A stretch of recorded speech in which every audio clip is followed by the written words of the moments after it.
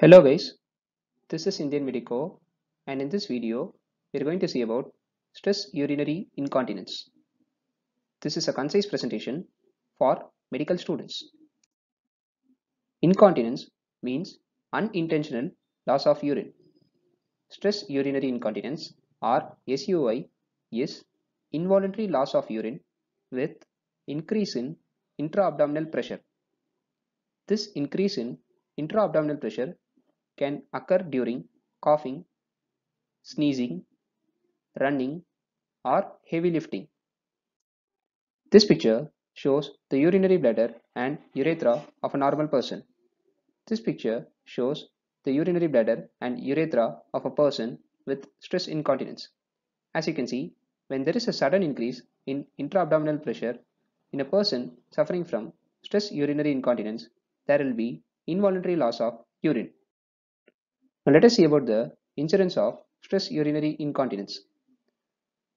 40% of women report symptoms of stress urinary incontinence after delivery. It resolves in most of the cases. In around 3 to 12% of women, there will be symptoms even after 6 months after delivery.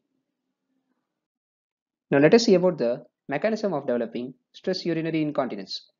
Stress urinary incontinence develops due to a combination of mechanical injury, denervation, and ischemic damage during delivery. Now let us see about the risk factors for developing stress urinary incontinence. Stress urinary incontinence is more common after vaginal delivery. It can occur with cesarean section also. 8% of women report symptoms of stress urinary incontinence after cesarean section.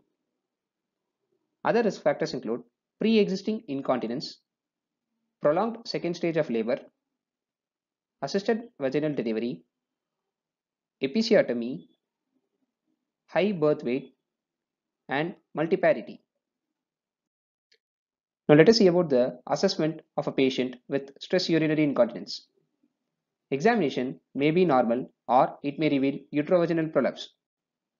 When the patient is asked to cough or do Valsalva maneuver, there may be leakage of urine through urethra.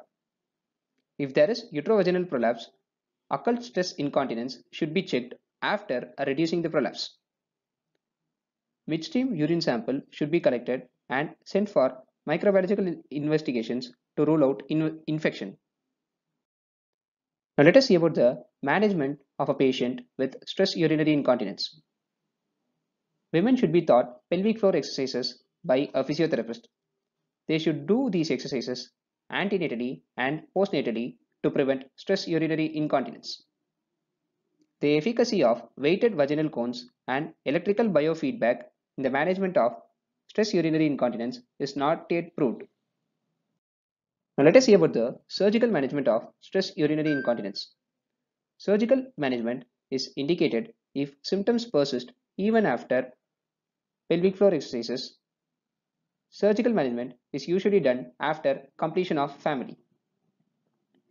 The various vaginal procedures for stress urinary incontinence includes anterior colporrhaphy and Kelly stitch, tension-free vaginal tape, and transobturator tape.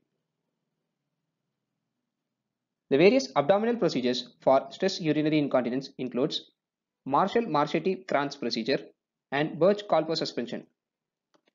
Laparoscopic colposuspension can also be done for managing stress urinary incontinence. If you have any suggestions, please let me know in the comment section. For more such videos, please check out my gynecology playlist. Thank you.